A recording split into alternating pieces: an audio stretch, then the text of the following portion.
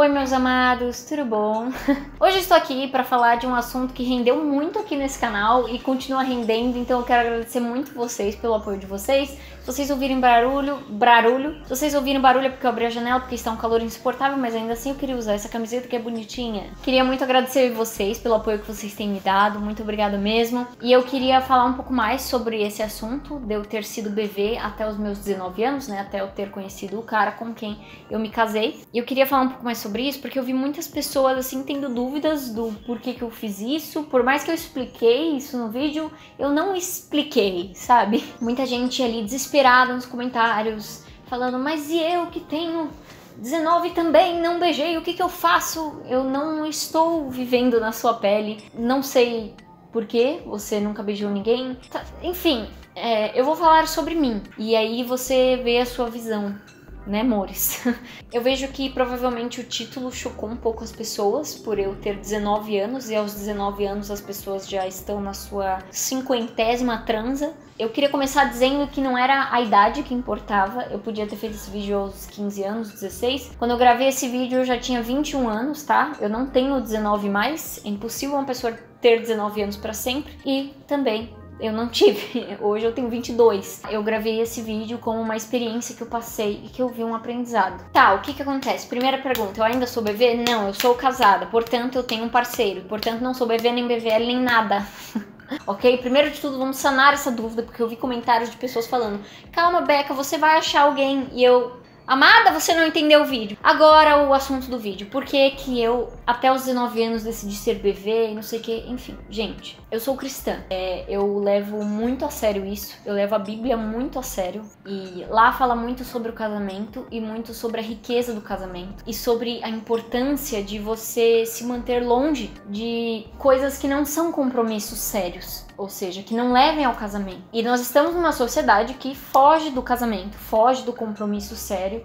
E eu não tô falando nenhuma novidade aqui, se você discorda, eu acho que você não está vivendo no mesmo mundo que eu, porque as pessoas fogem mesmo do compromisso. O compromisso é chato, é, muitas vezes o compromisso machuca, você tem que abrir mão de si, então ninguém quer. Então as pessoas querem viver só o sexo, é, só os prazeres, e é isso, e tudo bem se você faz isso, né? É a sua visão de vida, e tá tudo bem. Você não precisa nem acreditar no que eu acredito. Você não precisa nem ser cristão, você não precisa nada. Por isso que o que eu tô trazendo aqui é a minha visão. Então, eu levava isso muito a sério. Quando eu era mais jovenzinha, que eu era muito é, influenciável, eu comecei a deixar um pouco esses princípios de lado. Mas eu era feia.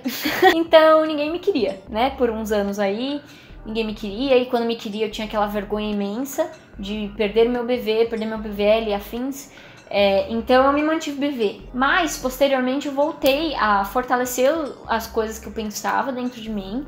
Voltei a pensar da forma que eu pensava, então mesmo havendo oportunidades, havendo pessoas que eu me interessava também, e a pessoa se interessava, eu não queria passar desse limite que eu coloquei. E por que que eu estabeleci esse limite? É, eu vejo o quanto nós criamos ligações com as pessoas quando nós beijamos pessoas. E por mais que hoje em dia é normal e não, eu não, eu não tenho ligação com essas pessoas, eu acredito que tenho. E eu acredito em ter um compromisso ou não ter compromisso nenhum. A partir do momento que eu tenho um afeto íntimo com essa pessoa, seja beijando ela na boca, seja tendo uma relação sexual com ela, eu criei um mini compromisso. E eu não acredito nesse mini compromisso. Eu vejo que, que muitas vezes, até as experiências que eu tive sem nem ter chegado num beijo, rolos que eu tive que talvez podia ter virado namoro, isso me trouxe cicatrizes. Isso me trouxe alguns machucados. O que eu queria era me preservar de forma que quando eu encontrasse alguém com quem eu iria ter um namoro, e com quem eu pensava no casamento, aí sim eu beijaria essa pessoa na boca, porque aí sim eu enxergava como algo importante para um namoro.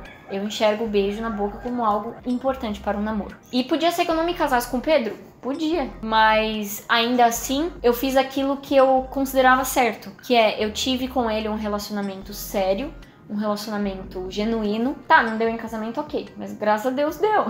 eu sei que provavelmente eu vou ser muito julgada de estar tá falando essas coisas, mas eu acho que a gente não deve ter medo das nossas decisões para nós mesmos. Eu não machuquei ninguém tomando essa decisão. Eu, eu não acredito em meios compromissos ou em compromissinhos ou só se aliviar fisicamente, porque pode ser que mesmo eu tendo um relacionamento sério, eu vou sentir falta daquelas beliscadinhas que eu dava aqui e ali quando eu era solteira. E aí como que eu vou me aliviar? O Pedro já pode não ser mais o suficiente para mim. E aí o meu corpo vai ficar pedindo essas essas coisas físicas com outras pessoas Muitas vezes é, a pessoa pode acabar caindo na pornografia, a pessoa pode acabar caindo em conteúdos assim que falam sobre isso, só para a pessoa poder se aliviar. Então, é um, a pessoa acaba vivendo em favor da, de, dessa sede dela, que ela não consegue se controlar, ela não consegue. E isso para mim é algo sem propósito. Eu vejo que é algo sem propósito. Então eu não queria beijar ninguém. Por que, que eu iria beijar alguém? Eu iria me envolver amorosamente com aquela pessoa durante aqueles segundos ou durante meses, talvez as pessoas que ficam com as mesmas pessoas. Para que afinal? Eu tinha um objetivo muito bem traçado na minha mente que eu gostaria de me envolver quando eu fosse casar e que se isso não fosse acontecer, eu não queria me distrair com isso. E tomar essa decisão me fez muito bem e hoje eu não me arrependo nada. Pelo contrário, eu fico muito feliz de ter feito isso, porque eu acho muito bonito quando alguém não abre mão da própria decisão por causa da influência dos outros, seja ela qual for a decisão. Claro, se a pessoa não tá matando pessoas para isso. Tipo, ah, eu decidi que eu devo matar todas as pessoas que eu vejo. Aí é uma decisão que não é saudável, né, meninas? Então é isso. É, vocês que queriam saber o motivo, esse é o motivo. então, gente, muito obrigada por me acompanharem. Se vocês quiserem fazer mais perguntas sobre esse assunto, podem fazer, eu vou gravando mais e tudo mais. E para aqueles que apoiaram a minha decisão, que se identificam, que me trataram com respeito, eu agradeço muito vocês e até mais!